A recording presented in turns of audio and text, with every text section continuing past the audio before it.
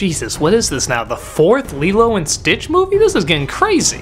Well, thankfully, Leroy and Stitch is the last of these films, and I say thankfully because it actually kind of goes out on a good note. That is to say, for what it is. I'm finding out more and more some of these direct to DVD sequels have to be taken for what they are. For example, I'm gonna judge something like Lion King 2, which is a direct sequel, differently than I am Tarzan and Jane, which is obviously just supposed to be a pilot for a TV show. And at the beginning of this one, you can very quickly see what it's supposed to be. Not a pilot for the TV show, but the ending of the TV show.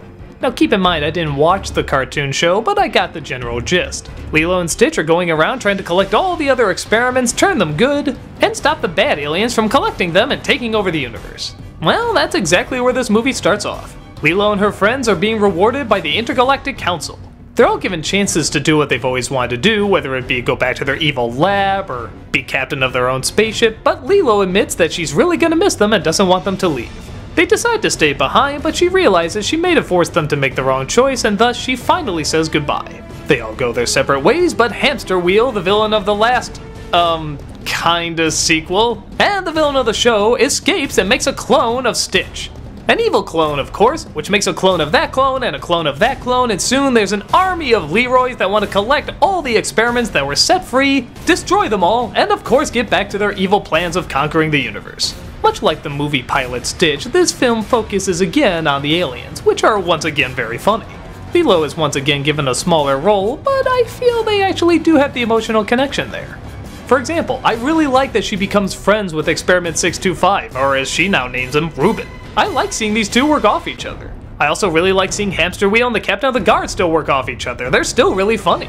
And unlike a lot of the Disney sequels, it actually builds up to a good climax. You think it's gonna be another one of those abrupt happy endings where it's not really that big of a climax, it's just kind of a tiny one because hey, they don't have much of a budget. But no, they whip out all of the clones of Leroy and have them battle all of the experiments I'm pretty sure that were in the show.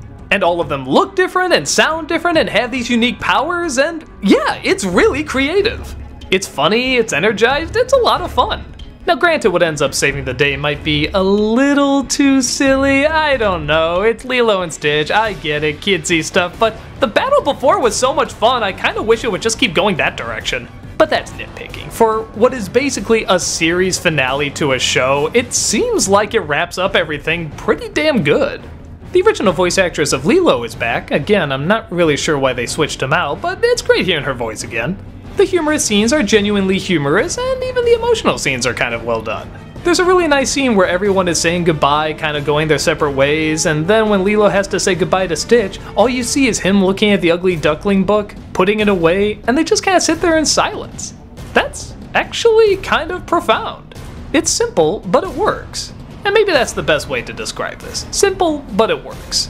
You can tell from the animation that this isn't going to be the same cinematic quality of the first film or Lilo and Stitch 2, where they put a lot more money into it. But honestly, for the budget they had, I think they did a really good job. Does it have the emotion of the first film? No. Is it going to be remembered as much as the first film? No. But again, I don't think that's what it was meant to be. It's supposed to be a wrap up of Lilo and Stitch, yes, but more the TV show than the films. And truth be told, this is a really fun send off. I can't act like it's phenomenal, but for what they had to do, I'd say it's pretty nicely accomplished. Again, it's one of the nice things of being forced to watch some of these movies. I'm a Lilo and Stitch fan, but I never would have checked out the sequels or these TV pilots if I didn't have to do this for a job.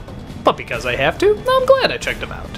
While none of them quite capture the freshness or the emotion of the first one, they come pretty close sometimes. And they were definitely entertaining throughout the majority of them. Whether you enjoy the cinematic side or the television side, it's nice to know that either way Lilo and Stitch go out on top.